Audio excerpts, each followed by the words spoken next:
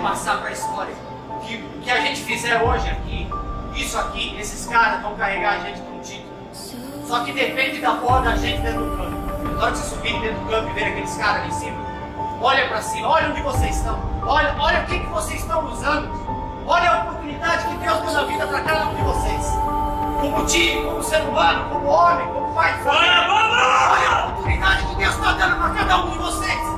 Escrever história.